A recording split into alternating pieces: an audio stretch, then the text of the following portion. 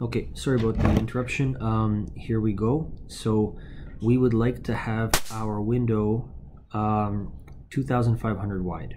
So let's go back here, click on the window. I'm going to zoom in a bit.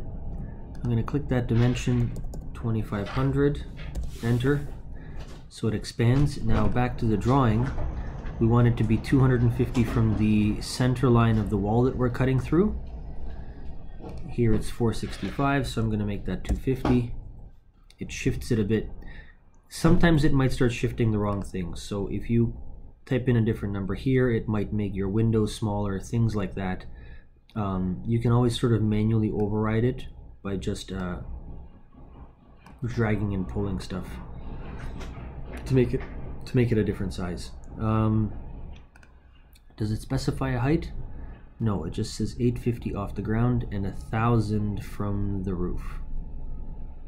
From the ceiling, I suppose. So let's make that a thousand. And let's make this one a little bit smaller.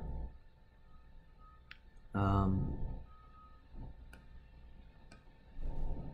800, let's see what happens if we punch in 850 here.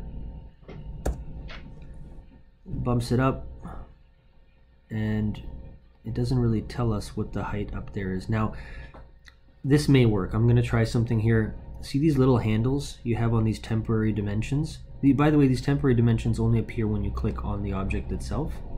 Oh, now it gave me this height, so I can drag this down to here, 800. I guess we want it to be level with the other door. It's a thousand. Anyway, I'm gonna, or it's 25 off.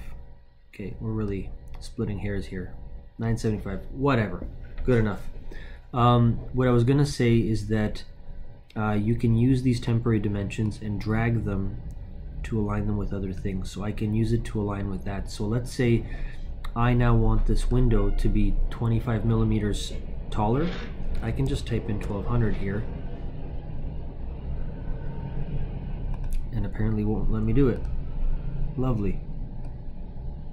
Okay, I can play around with this stuff later and figure out why it didn't let me do that, but uh, I guess in a nutshell, now we have 850 here. We want to see what the height is from the top of the window to the ceiling.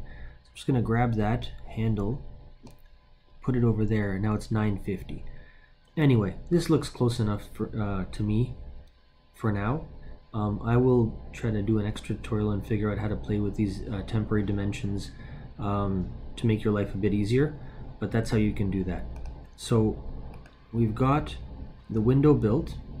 Hit escape twice to exit the previous command. Select the same wall, click edit profile. So we're going to click this. Oops, we're going to click the wall. And we can either double click the wall. I believe that'll allow us to edit the profile. Yes. Or we select the wall, hit edit profile. That's strange. It doesn't show up as a um, is a cut in the wall. Let's see what's going on here. Draw a 2000 mm wide rectangle in the above described portion.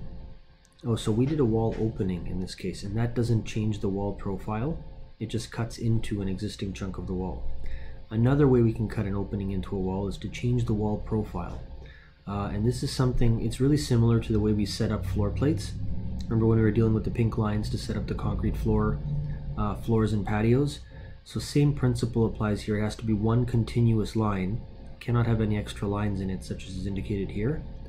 It has to look more like this. And you can kind of create an opening inside of the wall doing that. So, let's give that a shot. 750 from this side. 750, 750 from the center line of this wall. And